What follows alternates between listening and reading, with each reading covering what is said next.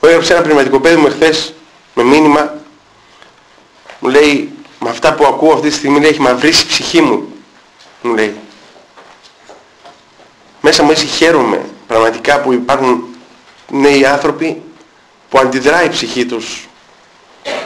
Μπορώ σε, αυτή την, σε αυτό το επερχόμενο κίνδυνο που αντιδράει η ψυχή τους. Το χαίρομαι πάρα πολύ. Παρακαλώ να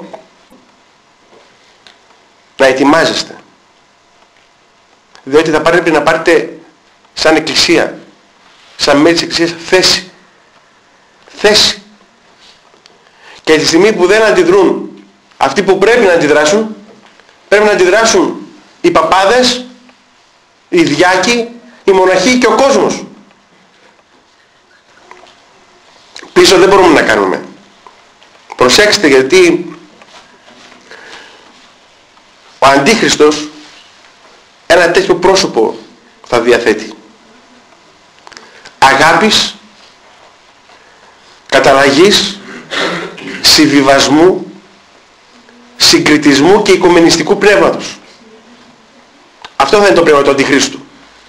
Και ο πρόδρομος του Αντιχρίστου Πάπας που ήρθε με τα τσαρούχια του στην φτωχή μας Ελλαδίτσα σας το είπα δεν έφερε καλά πράγματα για θυμηθείτε τι έγινε από το 2001 μέχρι σήμερα στην Εκκλησία; Για μετρήστε πράγματα που δεν είχαν γίνει τα τελευταία 30 χρόνια στην Εκκλησία.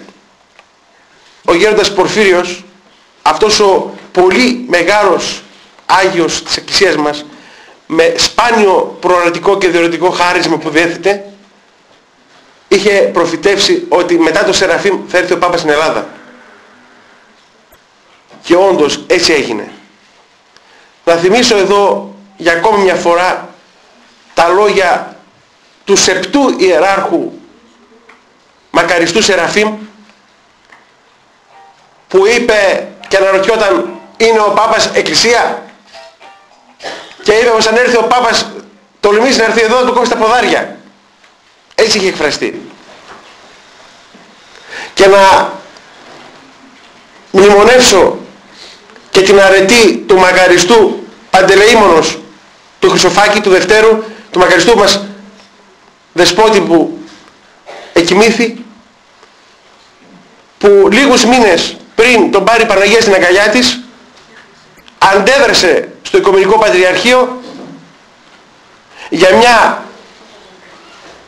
για ένα συμβούλιο που θα γινόταν με τον Ορθόδοξο, τον Καθολικό και τον Μουσουλμάνο για θέματα ειρήνης στη Θεσσαλονίκη και είπε όχι να μην έρθει στη Θεσσαλονίκη και έβαλε τότε το κεφάλι του στον τουρβά και η Παναγία τον αντάμισε με ό,τι ευλογία ήθελε και τον έχει στην αγκαλιά της. Από οράματα και από τασίες Αγίων ανθρώπων τον έχει στην αγκαλιά της. Και μόνο για αυτό το λόγο. Και μόνο για αυτό το λόγο έφτανε. Και να μνημονεύσω και τον Άγιο Ιεράρχη Αυγουστίνου Καντιώτη που φέτος είναι 100 χρονών και εκεί που βρίσκεται σε αυτή την κατάσταση της υγείας του μνημονεύει την εκκλησία μας και έρχεται για όλους μας η ψυχή του. Αν σήμερα υπήρχε δυνατός και κρατεός ο Καντιώτης δεν υπήρχε περίπτωση Πάπας να έρθει στην Ελλάδα. Δεν υπήρχε περίπτωση